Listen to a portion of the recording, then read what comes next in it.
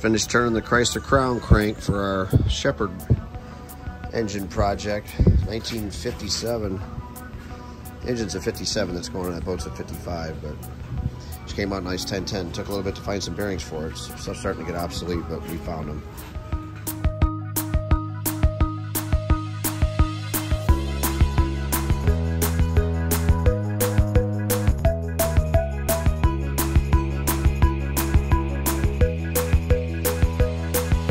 All right, setting our Sunnen P300 gauge here.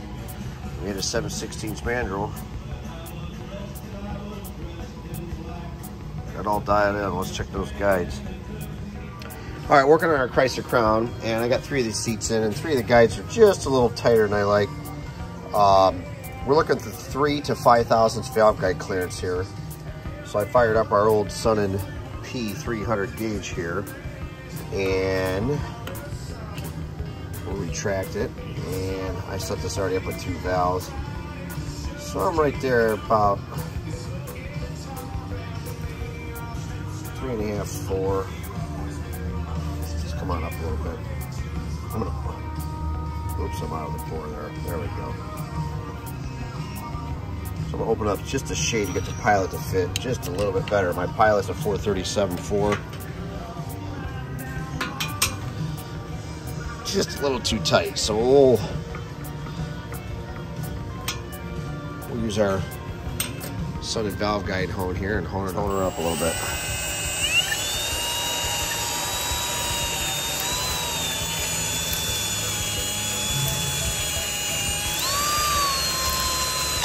We'll stop there and check it. Ooh, three angle for our old M47. I'll blew up the intakes and we'll test those. More the Chrysler Crown. M47 as 1957. Got the seats all done. Set the first hole there and checked our size. We're four short, which is perfect. We have a four to hone.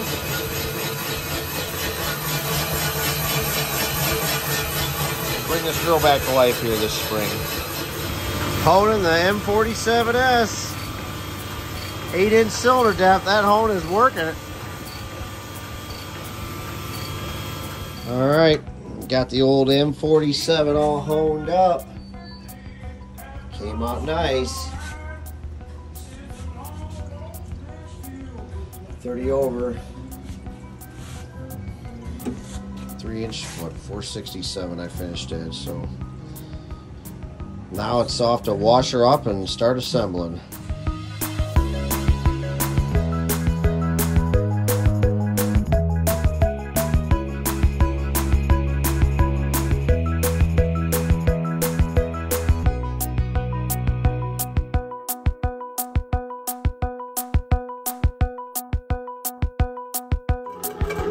Cutting the M47 Chrysler Crown head.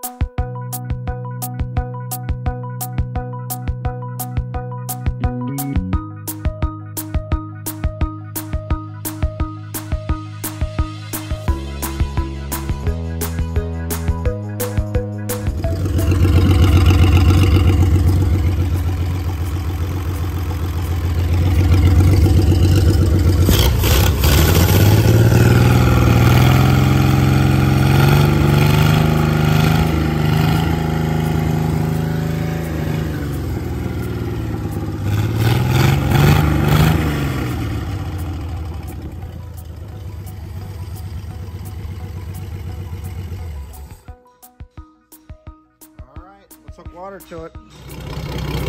There's our M47S engine overhaul. Sounds like a million bucks.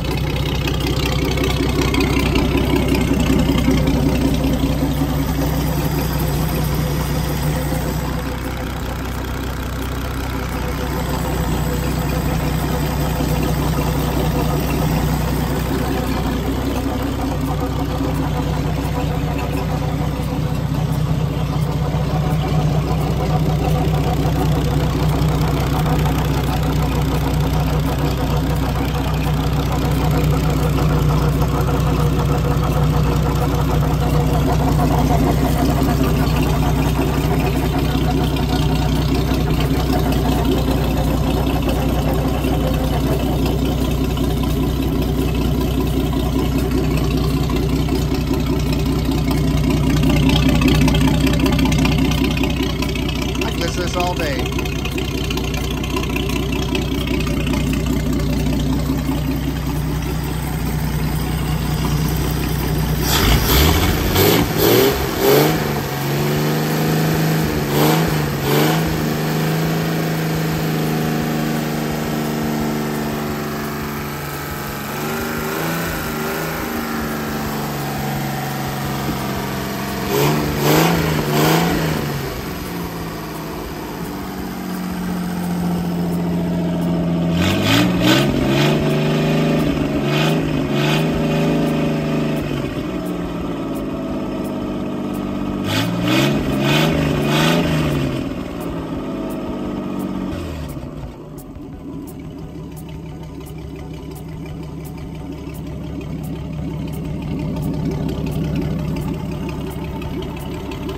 beauty.